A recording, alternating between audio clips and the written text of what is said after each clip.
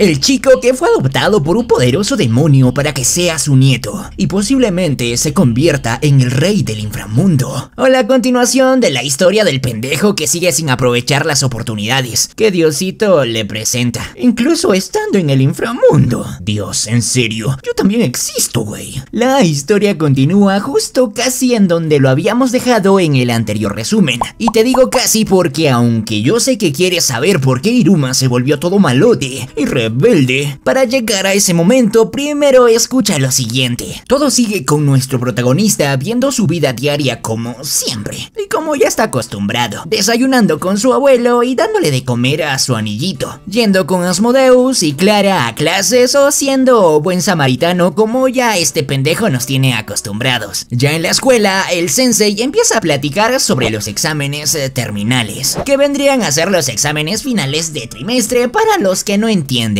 De la nada, el anillo de Iruma, durante el almuerzo, expulsa al demonio que posee dentro, el cual le chupa la energía. Solo la energía. A lo que el pendejo de pelo azul se empieza a preocupar porque en teoría este anillo culero ya estaba alimentado por su abuelo, aunque es más su sorpresa cuando el pinche anillo le empieza a hablar. Y no solo eso, sino que el demonio del anillo le empieza a reclamar al pendejo de Iruma que utiliza su magia de manera descuidada y sin medirse. Así que tendrá que empezar a aprenderlo a controlar para poder utilizarlo de forma correcta, dejándole en claro que tanto el deseo como la imaginación son las bases para lograr utilizarla. Imaginación y deseo. Hmm, miren ese potencial, perro. Por último, gracias a que el joven en una clase había logrado aprender un encantamiento que permitía transformar algo en específico, como esta rana que le cambió el color verde a color humilde, logró darle forma al demonio de su anillo, a petición de este mismo, otorgándole este cuerpo que no es lo que el demonio esperaba, pero es lo que hay papi, no se queje. Ah, por cierto, la sombra se termina autodenominando Ari, pero no de LOL, pendejo. Hola, carnales de Anime Gomen, ¿cómo están? Yo soy Goedi y este es el resumen de la segunda temporada de Meiri Mashita Irumakun en unos minutos. ¿Qué? Estoy cansado. Continuando con la historia, la presidenta estaba revisando el diario escolar cuando vio la noticia del show que vimos anteriormente. Sí, ese en el que el pendejo salía vestido de trapito. Uf, un rico y suculento trapito. Pendejo, no te desvías. A lo que a la presidenta le genera cierta incertidumbre porque se le hace conocido la chica que salió junto a la Demon Idol, aunque solo piensa que puede ser una mera coincidencia. Sí, la estupidez no conoce de razas, pero igual no va a durar mucho la duda ya que mientras Iruma estaba probando la magia de transformación en su vestimenta, es descubierto por la presidenta vestida de trapito. Aunque nuestro pendejo prota intentó explicarle que no le gusta el pito, la presidenta no le creyó ni media palabra, porque para el colmo le dijo que hablaba con el anillo, algo que era imposible para todo el mundo. Así que agarró y se fue a la verga toda desilusionada. Ante todo este incidente, Iruma le pide a Ari que explique todo lo sucedido, pero este se niega ya que él es un ser de origen desconocido, y si lo descubren podría causar mucho alboroto en el inframundo, dejándole como única solución que nuestro prota pendejo descubra a otros seres como Ari. Así este tiene más seguridad de que pueda salir sin que haya problemas. De esta forma, Iruma va con su abuelo para preguntarle más información sobre el anillo, pero este viejo solo le dice que los anillos no hablan, y que su anillo solo es un instrumento para acumular poder mágico, así que el pendejo de pelo azul no le queda de otra más que investigar por su cuenta, llegando a la conclusión de que cuando Iruma tenía el rango inicial, Ari no poseía ninguna conciencia, pero cuando este pendejo subió al rango 3, Ari empezó a tener conciencia, y por lo consiguiente empezó a hablar. De esta forma, basándose en que con cada subida de rango, Ari debería de sufrir un cambio. Iruma se propone como objetivo alcanzar el siguiente rango para ver si su teoría se confirma, o solo queda en eso, una simple teoría. Por otra parte, la presidenta sigue pensativa por todo lo que había pasado momento atrás, al punto de que no deja de pensar en nuestro pinche prota, vestido de trapito. Y como otra duda, entre tanto pensar, se le viene a la mente qué es lo que en verdad siente por Iruma. Está servida en bandeja, desgraciado. haz algo. Mientras tanto, este pendejo anda charlando con la Demon Idol. Esta última le pide por favor que se vuelva a poner el vestido de trapito.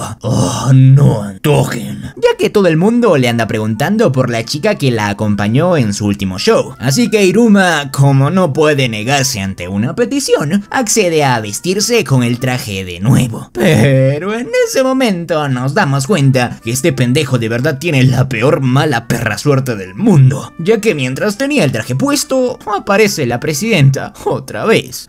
Ya déjenlo al hijo de fruta, no tiene la culpa. La presidenta se lo termina llevando de manera brusca y sin aviso, pero no con el objetivo de debatir sobre el tema del vestido y todas esas mamadas, sino para informarle que su batura o club será clausurado debido a que necesitan a un estudiante de tercer año en las filas del club, o por defecto que todos sus integrantes sean de rango Dalet, eh, cosa que el club no cumplía de ninguna forma. Pero existe una solución, y es que si los integrantes del club ayudan a otros clubes y reciben la aprobación de los capitanes de estos mismos, podrán volver a su Batora original. Pero para la mala suerte de nuestros muchachos, son enviados a diferentes Batoras. Clara es enviada al club de juegos, Asmodeus al club de desarrollo mágico, y el pendejo de Iruma lo envían al centro estudiantil. En serio, cabrona, si no le agarras las piernas y le entras a esa pinche presidenta, te mato, cabrona, te mato. Bueno, continúen. Así en su primer día, Iruma aprende todo lo que implica trabajar en el centro estudiantil. Y esta madre se asemeja mucho a una fuerza de combate de infantería, ya que trabajan como pinches burros, entrenan como jodidos perros y comen como malditos pobres. Igual haría todo ese esfuerzo con tal de estar al lado de esta mamacita.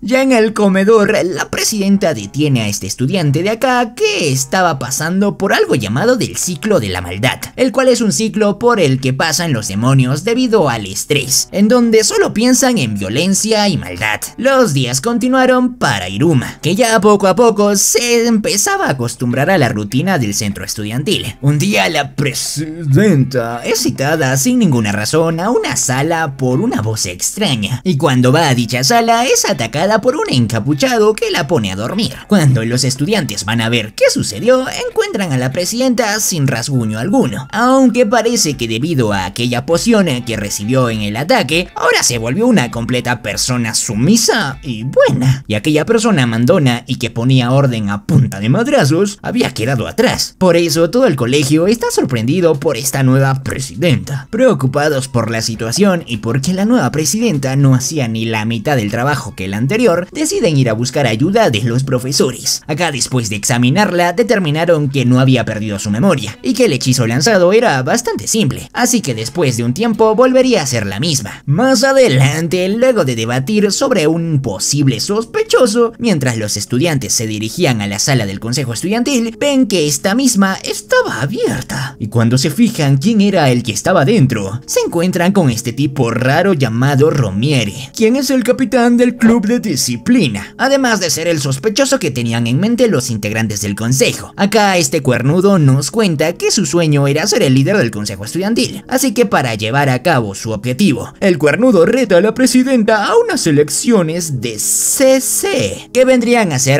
unas elecciones presidenciales en la vida real. El cuernudo no pierde el tiempo y llama la atención de todos los estudiantes, prometiéndoles que si votaban por él, todos iban a divertirse. ¿En qué momento este anime se volvió políticamente real? A diferencia de la presidenta, que debido a su personalidad actual, no podía ni leer un discurso escrito. Por esta razón, Iruma decide pedirles ayuda a sus amigos. Mientras tanto, la presi cita a Iruma para charlar a solas, y en lo que el pendejo la esperaba, Ari sale para contar que el hechizo que había recibido la presidenta ya estaba a punto de terminar, pero que al parecer había algo en el interior de ella que no dejaba que se acabe. En eso vemos a la presidenta con su antiguo outfit, aunque sin volver a ser la misma. Luego de una charla en donde Iruma le deja en claro que si lo que desea es realmente presentarse sin importar lo que piensen o digan los demás, que lo haga. Así de esta forma termina convenciéndola de que se presente. Por eso al día de las elecciones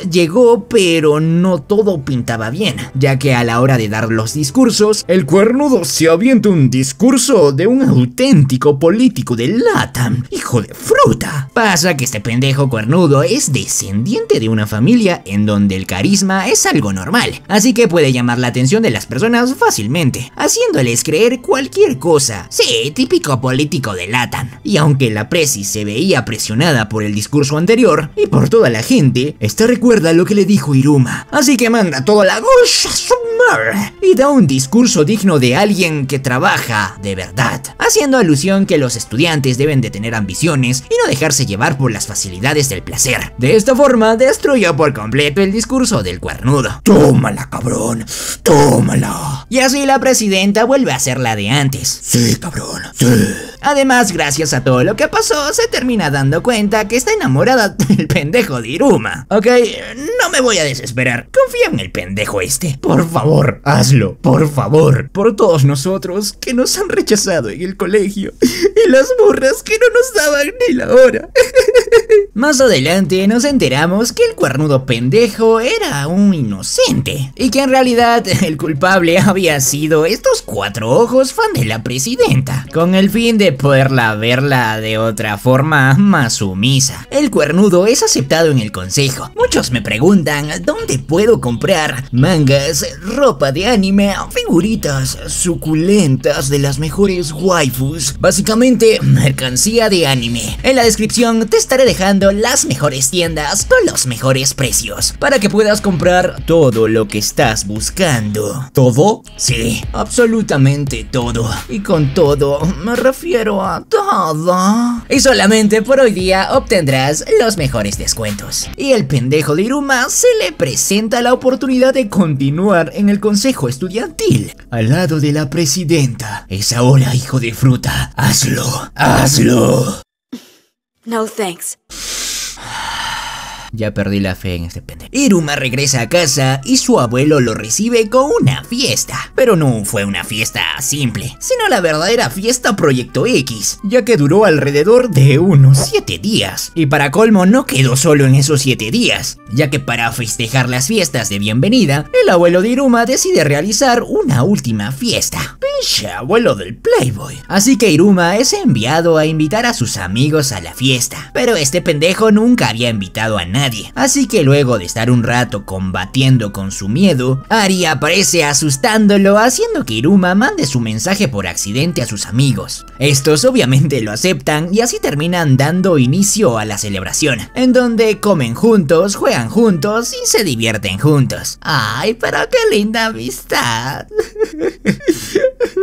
Me falta amigos, cabrón. Al final de la noche, y acá viene lo importante sobre la incógnita que nos dejaron. Y es que al final de la noche, Iruma cansado se está por ir a hacer la misión. Pero antes de hacerla, se pone a conversar con Ari un rato. El pendejo del prota le dice que sabe poco sobre el ciclo de la maldad de los demonios. Y dice que le gustaría saber más sobre el ciclo de maldad y sobre los demonios en general. Para acto seguido, quedarse dormido profundamente. Ari ante el deseo de este baboso decide ayudar al pendejo de Iruma, pero no sabe si priorizar el cambio de personalidad o el ciclo de maldad.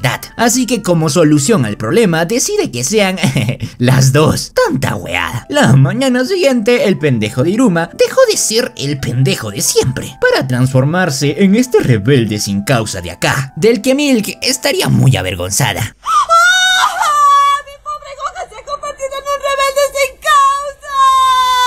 Esta situación obviamente descoloca completamente al abuelo de Iruma y Ópera, pero es más el desconcierto total cuando los estudiantes del colegio lo ven totalmente cambiado, aunque en realidad sigue siendo una buena persona, pero ahora ya no es tan pendejo. Además impone respeto de verdad, como si fuera un bravucón de las películas. Este peli azul madre si se vio la peli de Spider-Man 3 unas 300 veces. El Black Iruma para los compas ya empieza a su revolución dirigiéndose a la sala de profesores para pedir un cambio de salón, ya que los demás salones dejan basura tirada cerca del salón de los inadaptados, debido a que el contenedor de basura estaba después de su salón, y aunque les dice que no existe otro salón para utilizar, Iruma le propone utilizar el aula sellada que utilizó el último rey demonio cuando este estudió en esa escuela. Esto obviamente enfurece al profesor, quien les recalca que son una banda de inadaptados y no son merecedores de usar dicha aula. Pero Black Iruma no se echa atrás. Entonces terminan llegando a un acuerdo que consiste en conseguir el permiso de todos los profesores en un plazo de tres días. ¿Cómo carajos conseguirán el permiso de todos los profesores? Solo se me ocurre usar el método Latan.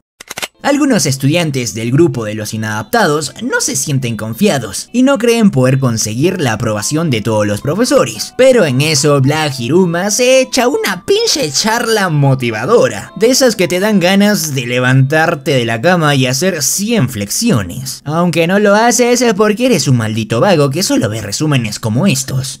Me incluyo. Así después de la charla llevan a cabo un plan para poder conseguir la aprobación de los profesores. En el primer paso, efectivamente utilizan el método Latan, pero esta vez lo realiza este pelo de cactus, que seguramente sí es de algún país de Latan porque tiene la habilidad especial de poder robar cosas sin ser descubierto. Así que mientras el Black Iruma distraía al pinche profesor, el latinoamericano le robó una de sus pertenencias, que es nada más que su agenda personal, y es gracias a esta agenda que consigue su primer voto, de parte de la profesora Momonoki, ya que esta vieja perversa está interesada en el profesor cara de culo, y por lo tanto quería leer su, su agenda. Oye, eso está mal. No se deben de robar cosas de otras personas. Cállate, estúpido. En la guerra y el amor, todo se vale. Hasta llorar porque te dejaron plantado con un cartelito de quiero que seas mi novia. Por su parte, Clara y el leoncito van a buscar el permiso de la profesora de magia teórica. Y aunque en un principio la pinche vieja no les presta atención, el leoncito Goncha madre saca a relucir todos sus conocimientos. Y dichos conocimientos ayudan a la profesora con una investigación que estaba realizando en ese momento. Así que de esa forma consiguen el permiso de la vieja de magia teórica. Otros estudiantes van a buscar el permiso de otro profesor de teoría mágica, aunque este viejo en particular tiene complejo del maestro Roshi. Ya saben a lo que me refiero, esas mamadas de tirar sangre por la nariz. Así que este búho bastante cabroncito le habla en su idioma de pervertidos. Y para seguir con la charla, el búho le pide que le firme el permiso. Así que el viejo mañoso, sin dudarlo un momento, lo firma. Hmm, ¿Qué le habrá dicho este búho? De esta forma, los estudiantes ayudaron a sus profesores en distintas tareas, así ganándose el permiso de cada uno mientras iban cumpliendo lo que pedían. Al llegar la noche, Iruma le pide el permiso a su abuelo, y este obviamente para seguir mimándolo se lo da sin pensarlo. Así, junto a la Demon Idol, Black Iruma cuenta cuántos permisos tienen hasta el momento, teniendo en total unos 21 permisos, aunque todavía le faltaba el permiso de 16 profesores, contando al cara de nalga. Estos 16 profesores, hay dos en particular que Iruma piensa que serán los más difíciles de convencer. Uno de ellos es el profesor de astrología, llamado Orias, quien tiene que ser convencido por el rubio gamer de la clase ganándole un juego de mesa. Y por otro lado está el profesor de sanación con complejo de aldeano de Minecraft, llamado Vuela, y el mismísimo encargado de convencerlo va a ser nada más y nada menos que el Gonshesumare de Snabok, con quien el profesor se lleva como perro y gato desde el primer día de clases debido a sus pensamientos diferentes. Pero esto obviamente no es un impedimento para Snabok, ya que Snabok siempre va un paso adelante, así que termina por disculparse con el profesor por todos los problemas causados, así tocándole el corazoncito y consiguiendo la firma de este. Bien, Snabok, creo que ya. Muy bien, Snabok. Además, el mocoso gamer logra ganarle el juego de mesa al profesor Orias, que como buen perdedor, el profesor termina dando su firma. De esa forma logran conseguir las firmas de los dos profesores más jodidos. Por último, tenemos que ir con Black Hiruma, quien va a conseguir una ayudita de parte del consejo estudiantil para que el resto de profesores aflojen y terminen dando sus firmas. Y para conseguirlo, activa el modo galanazo. Algo que el pendejo del Iruma normal nunca hizo. Mira, pendejo, aprende de tu otro yo. Y termina poniendo nerviosa a la presidenta Buenota, presionándola contra su asiento. Y obviamente termina consiguiendo la recomendación. De esa forma, y una vez finalizado todos los encuentros con los profesores, Iruma Black y el Salón de los Inadaptados consiguen la firma de los 36 profesores. Aunque si eres bueno con las matemáticas, o aunque sea con el razonamiento lógico, te darás cuenta que falta una firma. Y esa es la del madre del profesor Alego. Así que cuando es el momento de que Black Iruma saque a relucir sus dotes y consiga convencerlo, el pinche profesor da un giro de 180 grados y le dice que cuando se refería a conseguir el permiso de los profesores, no era solo a los 36 que ya tenían, sino también de todo el personal de la escuela. O sea, los que cocinan, limpian, ordenan, etc. Demasiada gente para conseguir en solo tres días. Y cuando parecía que era una derrota para el salón de los inadaptados, aparece este viejito madre, que es el conserje del colegio y les entrega un permiso firmado. Pero el viejito no venía solo, ya que se trajo al resto de personal del colegio con él, y cada uno con una firmita en la mano y todo. Todo esto debido a que Iruma siempre fue una buena persona con ellos. Entonces ellos al escuchar que estaban juntando firmas, decidieron devolverle el favor, aportando su granito de arena la causa. ¿Ven hijos de fruta? El karma existe y te devuelve siempre algo bueno. Así que yo que ustedes le estaría empezando a dar like al video, a menos que quieran que Snabuk se les aparezca en la noche debajo de su cama.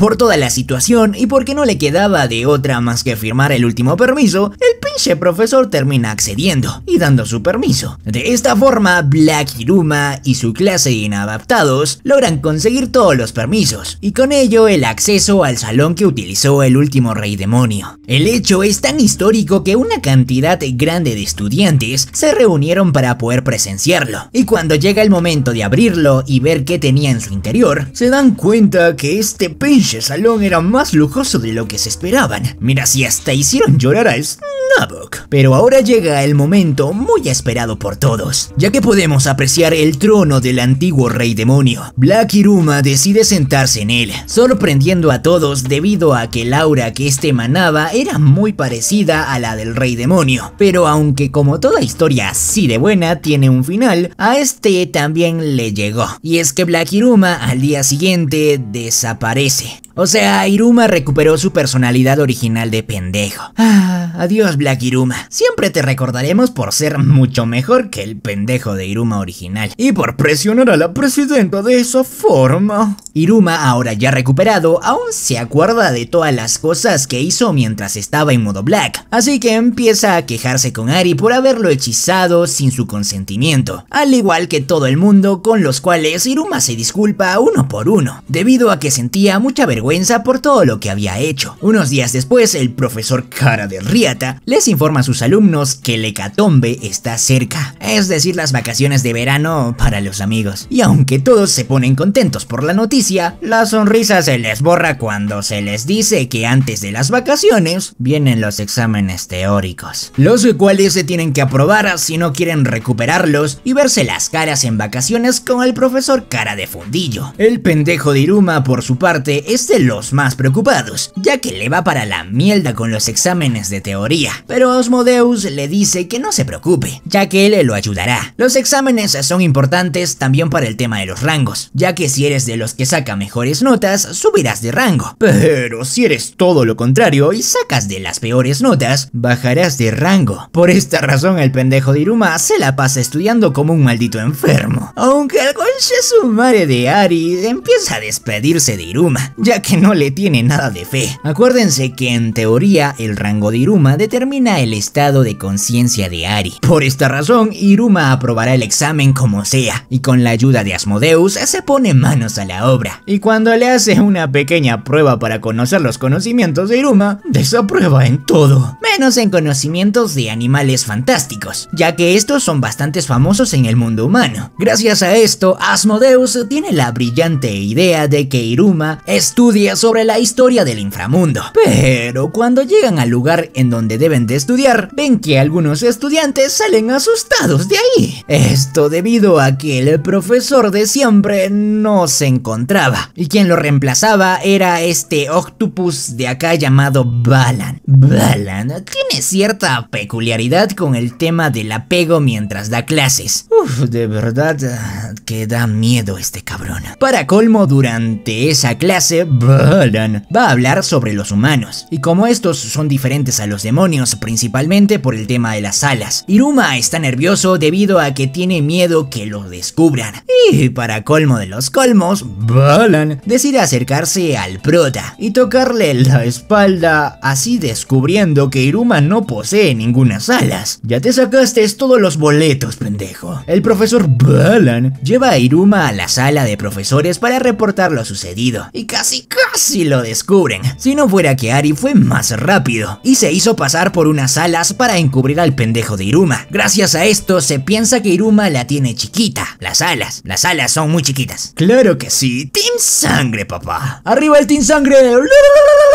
Oye, antes de que continúes, no seas mamón, suscríbete. Si lo haces, te haré una galletita. Ok, dos galletitas, pero por favor suscríbete que no es tan difícil. Solamente tienes que apretar el botoncito rojo de ahí abajo y listo. Balan, como modo de disculpa por haber dudado de Iruma, le muestra sus colmillos. Dios, qué cosa más horrible. ¿Pero acaso te has visto al espejo? Por eso, pendejo. Balam no le muestra sus colmillos a casi nadie, debido a que estos asustan a todo el mundo, y eso le imposibilita pasar el rato como alguien normal. Iruma, como ve que Balan es re buena onda, y no es nada parecido a lo que la habían contado, decide confiarle el secreto de que él era un humano. Ah, dime que no metiste la pata, pendejo. No, no metió la pata, ya que Balan toda su vida fue un apasionado del mundo de los humanos, y sobre todo los seres vivos que habitan en él. Así que lejos de enojarse, por lo contrario, está súper emocionado debido a que por primera vez en su vida tiene a un ser humano ante sus ojos. Aunque también le advierte al pendejo de Iruma que no le confíe ese secreto a nadie más, ya que los demás demonios no reaccionarían de la misma manera que él. En otro día de clases, como de costumbre, el un Mario de Calego les recuerda que deben de aprobar antes de querer tener sus vacaciones. Le quitas lo divertido a la vida. En ese momento, Balan estaba espiando a los estudiantes, pero era por el simple hecho de que es un compinche del profesor Calego. Balan, al ver que Iruma está bastante preocupado y tiene dificultades para aprender sobre la teoría, le diseña un libro con ilustraciones hecha por él mismo, con el fin de facilitarle el estudio al pendejo de Iruma. Y es gracias a este gesto de Balan que nuestro prota logra entender con mayor facilidad todo. Así que luego de unos días más de estudio, llega el día del examen y todos están más que preparados para aprobar. Y es tanto lo preparados que estaban que terminan aprobando todos, sin excepción alguna. El pendejo de Iruma, todo excitado y contento, va a contarle a Balan que logró aprobar el examen. Pero a la hora de verlo se da cuenta que Balan pasó por la peluquería. A este cabrón le hicieron el pinche corte militar. Balan le cuenta a Iruma que el corte se debe a que quiere dejar de tener un aspecto tan intimidante y empezar a ser más aceptado por los demás. Además, le pregunta a Iruma sobre su examen y el pendejo le muestra que aprobó, así que lo festejan juntos con un par de giros. Por otro lado, la presidenta extraña al pendejo de Iruma debido a que no lo pudo ver durante sus estudios, así que decide invitarlo para poder platicar un rato. A ver con qué pendeja pendejada saldrá este pele azul. Pero Iruma le responde que no puede ir ya que tiene que festejar con sus amigos que todos aprobaron el examen de teoría. Ah, no esperaba nada de él y aún así consigue decepcionarme. Pero bueno,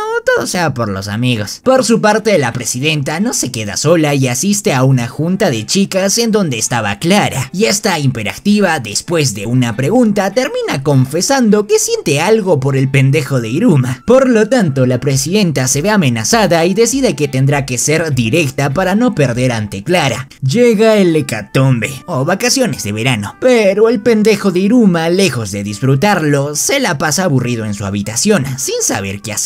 Sin nada que hacer, hijo de esa chingada madre. Pero en eso llega Clara, Asmodeus y la mayoría de la clase, con el fin de invitarlo a un parque de diversiones que fue creado para demonios. Y aunque todos los estudiantes fueron contentos a pasarla bien, Iruma fue mandado con escoltas porque su abuelo teme debido a que es su primera vez en un parque de diversiones para demonios. Y los escoltas es el profesor cara de nalga, ópera y Balan. Además de que por su parte, Iruma invitó a la presidenta al parque, aunque esta última pensó que era una cita, pero terminó toda desilusionada. Los estudiantes se separaron en tres grupos, teniendo a cada escolta como líder del grupo, dejando definido un grupo con Balan y Snark. Dios, este crossover es mejor que las tortugas ninja y los Power Rangers, acompañados del prota, Asmodeus y el vago de la nube. Por otro lado, el segundo grupo, comandado por Ópera, están todas las estudiantes mujeres. Y el tercer grupo del profe cara de apio está el resto de estudiantes. Mientras investigan, se topan con el cuernudo de Romiere, que les informa que este parque de diversiones le pertenece a su padre. Así que gracias a este beneficio decide hacerles un paseo VIP. Pero es detenido por su ayudante, quien lo cuidaba para que no se mande ninguna cagada. Por eso le repite que no puede llevar a las personas a conocer la prisión subterránea del parque. Para que entiendas, resulta que debajo de este parque de diversiones hay construida una prisión la cual utiliza a los reos que hayan cometido delitos en un pasado para poder nutrirse de su poder mágico, con el fin de que el parque pueda funcionar en óptimas condiciones. Y ahora les reto a que adivinen quién se encuentra encerrado en dicha prisión. Vamos, tiene 5 segundos para responder. ¿Listo? Ok, sí. En esta prisión se encuentra el cuatro ojos de Kirio, que por si no se recuerdan y tienen memoria de Doris, este joven Shesumare terminó encerrado en esta prisión, luego de querer hacer un Allahu en toda la escuela.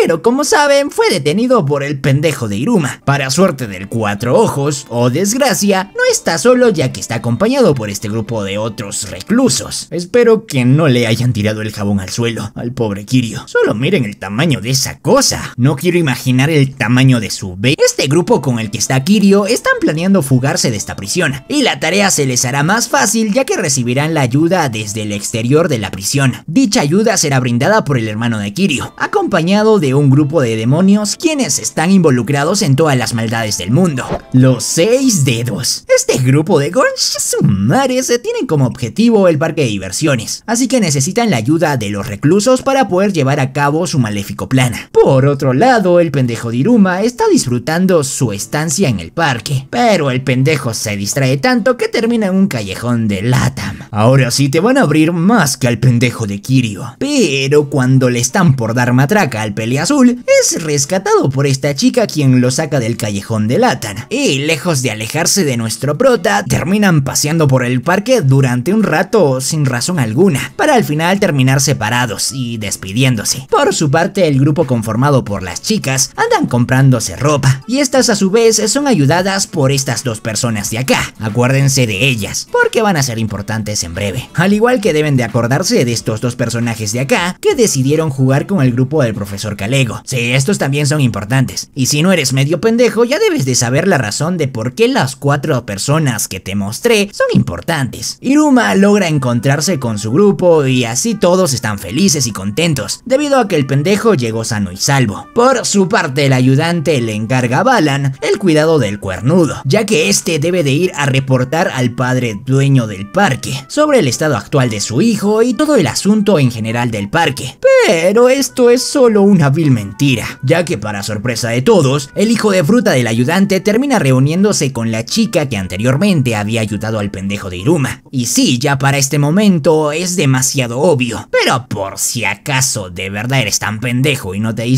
cuenta, ellos dos junto a los otros cuatro personajes que te mostré anteriormente, forman parte del grupo de los demonios más peligrosos, los seis dedos. Y para poder entenderlos de mejor manera, te los presento. Maemaro, como el sexto dedo, Atori, como el quinto dedo, Miki, el cuarto dedo, Hugh Darling. Hoy, ¿me dejaste Darling? No, pendejo, así se llama. Como el tercer dedo, Shida, la chica que ayudó a Iruma, como el segundo dedo. Y por último, el ayudante del cuernudo, Wet, como el primer dedo y líder de todos estos pendejos. El plan de estos jóvenes sumares es causar un gran alboroto en el parque de diversiones, con el fin de infiltrarse en la prisión y poder liberar a Kirio y compañía. Para eso, al más estilo de Pokémon, liberan a estas tres bestias alrededor del parque. Todos los grupos se ponen alertas y se dan cuenta sobre la presencia de las bestias. Así que por su parte, el grupo de Calego, luego de que este les da un sermón sobre cómo aprovechar al máximo sus habilidades, y el trabajo en equipo logra que se armen de valor y enfrenten a la bestia. Por otro lado, Iruma logra observar con sus propios ojos la frialdad y la poca empatía que tienen los demonios con otros demonios en general, ya que en este caso este niño estaba pidiendo ayuda para poder rescatar a sus amigos que habían quedado atrapados, pero nadie le presta atención. El pendejo de Iruma cansado de esta situación se lanza a ayudarlo, pero antes de ir a rescatar a los demás, se encuentra con su grupo de amigos, y luego de darles una charla motivacional, todos se preparan para enfrentar a las bestias. El grupo del profesor estaba teniendo bastantes problemas para vencer a la bestia, pero luego de idear un plan en donde el objetivo era con la ayuda de un silbato explotar los oídos del toro,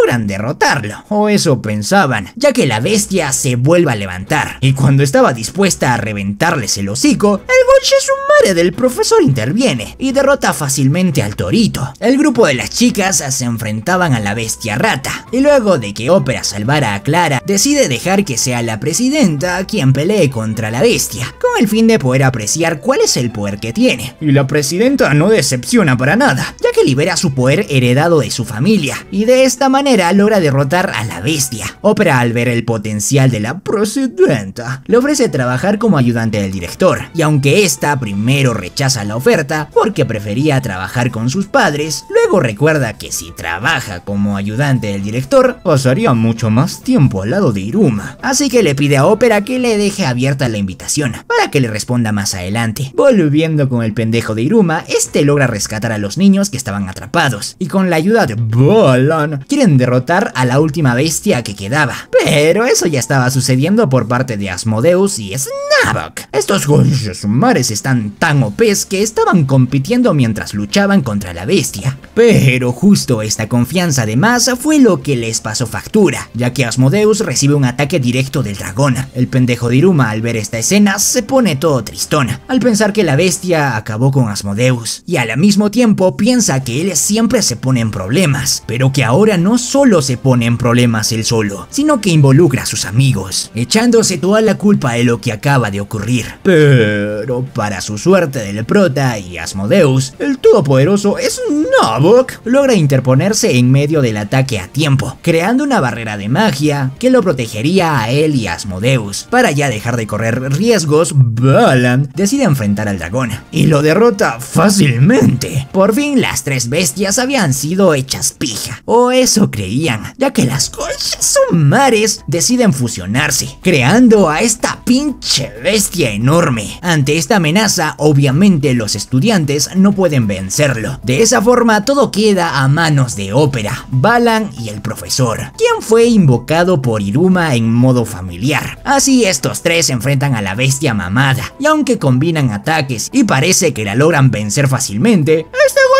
Mare vuelve a levantarse como si nada. Y no solo eso, sino que se cabrea de manera letal y empieza a cargar un ataque que ni los tres juntos podrían frenar. Pero eso no es lo peor de todo, sino que el ataque va dirigido al refugio donde se encontraban las personas. Y justo cuando la bestia hija de fruta está por disparar su ataque, aparece el cuernudo para salvar el día, ya que gracias a su habilidad de carisma, logra llamar la atención de la gran bestia haciendo que ésta cambie de objetivo. Pero claro, este pendejo no pensó que ahora el objetivo iba a ser él. Pero el pendejo de Iruma se interpone en medio y le pide a Ari que absorba todo el poder mágico que estaba lanzando la bestia, ni que fuera tu prima para que se la trague completa. El pendejo de nuestro prota tiene que usar el poder de la imaginación para que Ari pueda devorarse todo este poder, ya que de eso se trata la magia. De esa forma logran derrotar en conjunto a la pinche bestia mamalona, y con esto todos felices, todos contentos. Pero mientras todo esto pasaba, los seis dedos lograron infiltrarse hasta el punto máximo de la cárcel. Aquí logran salvar al cuatro ojos de Kirio, y este hijo de fruta deja tirados a los demás reclusos que estaban con él. Sí, me parece que efectivamente le tiraron el jabón al piso, y esta es su forma de vengarse. Y aunque el cuatro ojos quiere ir por Iruma, recibe una llamada que le piden que regrese inmediatamente. El padre del cuernudo, como agradecimiento por haber salvado su parque, decide invitarlos a un hotel para que pasen el tiempo. Y como lo que pasó en el parque es noticia sumamente importante, todos se enteran que fue Iruma quien derrotó a la bestia. Por esta razón, se vuelve mucho más popular de lo que ya es, por lo que todo el mundo quiere entrevistarlo. Pero gracias al padre de la presidenta, ya nadie puede acercarse al prota, con la intención de molestarlo con una entrevista. Oye, ¿no te gustaría gozar de los beneficios que te brinda este humilde canal? Elegir el siguiente resumen, ser saludado en todos los videos, stream privados, entre muchas cosas más. ¿Qué esperas que no te unes a los miembros? Podrás hacerlo picando al botoncito azul de aquí abajo. Tenemos precios para todos los bolsillos. Muchas gracias por tu apoyo. Toma tres galletitas. Y ahora se viene lo bueno, ya que la presidenta termina invitando a Iruma a una cita en un acuario, por lo que estos se encuentran ahí y acá vemos a... ¡Oh por Dios! Creo que se me movió el pantalón. Perdónenme unos momentos. Y así tienen su cita en el acuario. Y aunque la presidenta intentó que todo sea lo más parecido a una cita, no salió como ella esperaba. Y siempre ocurría algo que arruinaba el momento. Pero había un plan en especial que no quería que fallara. Así que lleva a Iruma a un show de animales. Pero vuelve a salir mal ya que el animal quiere comerse al prota. Por lo que la Presi lo salva y en el proceso de salvarlo se lastima la pierna. Así que nuestro prota se la lleva a la enfermería. Y este momento es lo más destacable y de lo mejor que pudimos ver de esta cita. Otro día, mientras el pendejo de Iruma estaba terminando su tarea de verano, a su abuelo se le ocurre llevarlo a comprar cosas para prepararse de cara al año escolar siguiente. Así que compran ropa y libros mágicos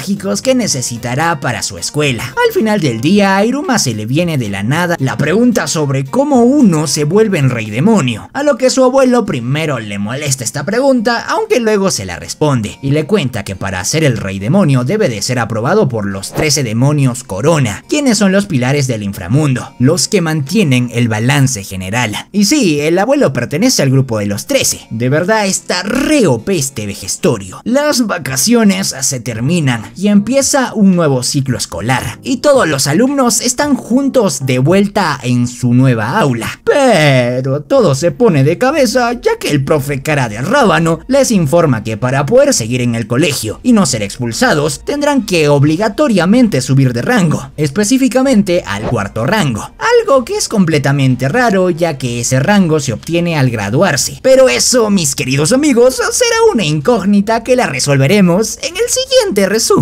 Carajo, tantas cosas pasaron en esta temporada y lo que queda para la siguiente. Si quieres que resuma la siguiente temporada, este video tiene que llegar a los 20.000 me gustas y 2.000 comentarios. Y por favor, sígueme en Instagram. Dale a me gusta, comenta y comparte para que el mamón de YouTube recomiende este video. Que tengas un espléndido día y hasta la próxima.